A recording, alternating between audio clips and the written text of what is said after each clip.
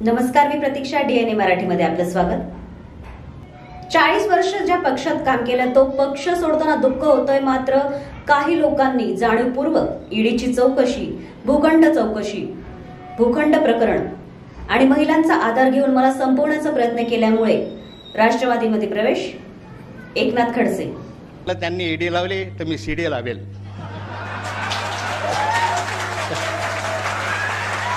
पक्षाशी सदैव प्रामाणिक राहून पक्षसेवा केली.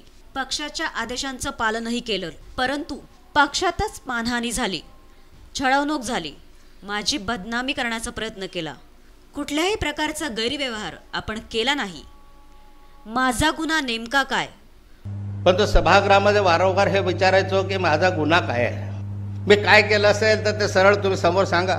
तुमच्या दृष्टिकोनांना गैरव्यवहार असेल तर त्याचे कागदपत्र द्या. तुमच्या दृष्टीने काही अन्य असेल तर ते तुम्ही सभागृहामध्ये सांगा.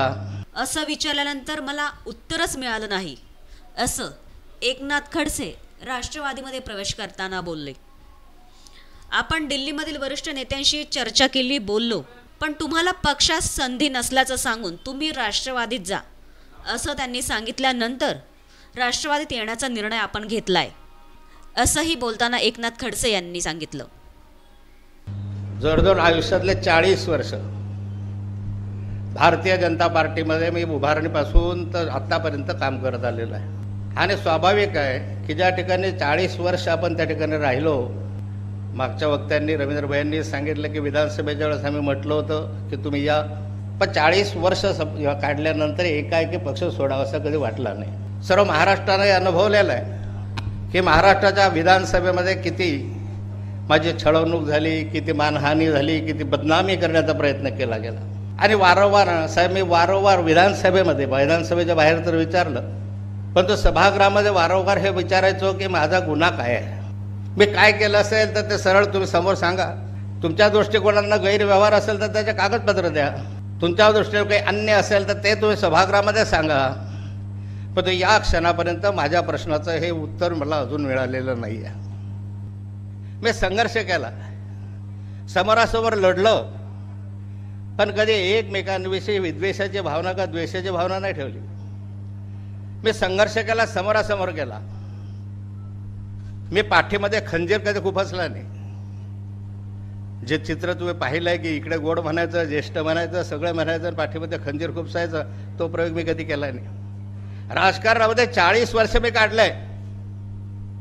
पण या चाळीस वर्षामध्ये महिलेला समोर ठेवून कधीच राजकारण केलं बाईला समोर ठेवून करायचं अजिबात नाही केलं. कुणाला तरी समोर ठेवून ॲलिगेशन्स करायला लावायचे हा माझा स्वभाव नाही आहे. आणि या ठिकाणी मी तसा काही लेचा पेचा नाही आहे. एक वेळ जयंतरावांशी चर्चा करत असताना जयंतराव मला म्हणाले की तुम्ही राष्ट्रवादीमध्ये येत आहे म्हटलं हो मला यायचं आहे जर तुम्ही मला मदत केली प्रवेश दिला तर मी येईल. जयंतराव मला बोलले की ते ईडी बिडी तुमच्या मागे लागेल ना? मी म्हटलं त्यांनी ईडी लावली तर मी सीडी लावेल.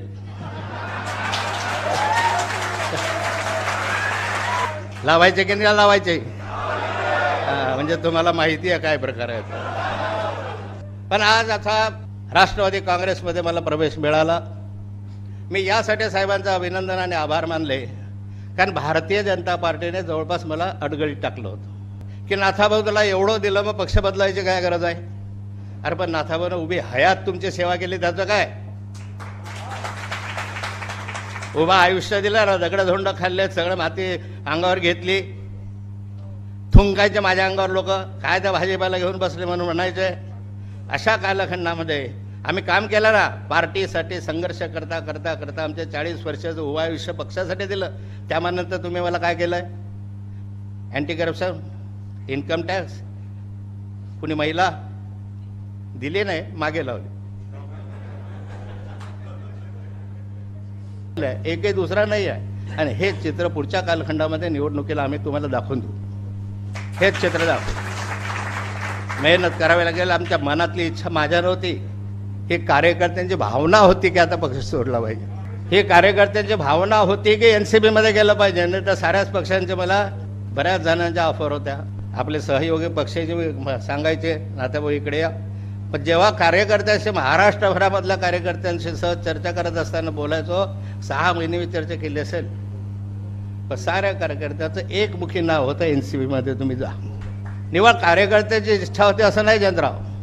दिल्लीमधले जे वरिष्ठ आहे त्या वरिष्ठांशी सुद्धा मी चर्चा केली आणि त्यांनी मला सांगितलं. मी म्हटलं अशी स्थिती आहे.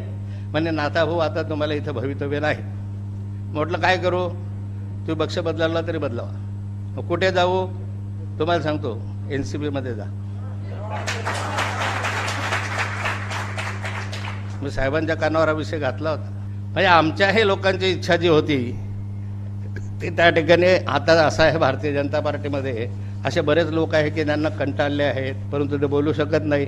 अशा बऱ्याच जणांना असं वाटतं की मला दुसऱ्या पक्षात जायला पाहिजे मला यायला पाहिजे जे मोठ्या पदावर आहेत परंतु तुमच्यासारखं त्या त्या ईडी लागेल काही लागेल बऱ्याच जणांना भीती पण असते. पण या पुढच्या कालखंडामध्ये तुम्हाला सुद्धा एक मोठा कार्यक्रम आपण जळगाव शहरामध्ये जळगाव जिल्ह्यात घेणार नाथाभाऊची ताकद काय आहे?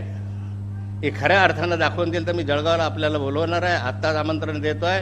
सर्वात मोठं ग्राउंड जे आपल्याकडे आहे सागर पार्क ते सागर पार्क ओतप्रत भरून मी दाखवेन तुम्हाला. हे ओतप्रोत मला छळलं त्याचं काय? साहेब माझ्यावर विनयभंगाचा गुन्हा दाखल केला. खोटा. आत्ता परवा परवा मी बाहेर आलो त्यातनं. म्हणजे इतक्या खालचं जर राजकारण चालत असेल तर अशा लोकांबरोबर राहणं उचित नाही. म्हणून मी पक्षत्याग आहे असं मी आमच्या वरिष्ठांना सांगितलं. वारंवार वारंवार आयुष्यातले एवढ्या माणसानं काम केल्यानंतर तुम्ही आयुष्यातले चार वर्ष माझे वाया घालवले.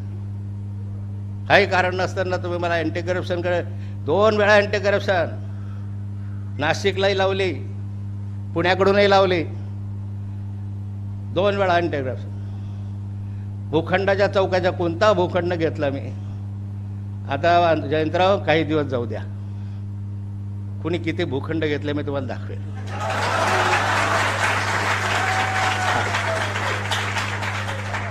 कुणी काय केलं आहे? फार दिवस नका जाऊ देऊ. फार काही काळ जाणार नाही. तुमच्या आपोआप माझं बोलणं लक्षात येईल. मी अन्याय करणारातला नाही. आम्ही जाणीवपूर्वक कुणाला त्रास द्यायचा नाही. पण जे नियमाच्या बाहेर ज्यांनी केलं असेल अशांवर काहीतरी कारवाई झाली पाहिजे हे मागणारातला आहे. मी मागणी करेल सरकारकडे की आता हे केलं पाहिजे. नाहीतर मग शेवटी हे करा ते करा असा आपल्याला दबाव जर येत असेल त्या दबावाला बळी न पडता बाहेर पडून काम करावं लागणार आहे आणि करेल मी त्याच्यासाठी.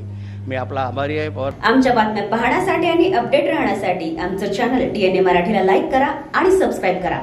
आपण बदला जग बदलेल. धन्यवाद.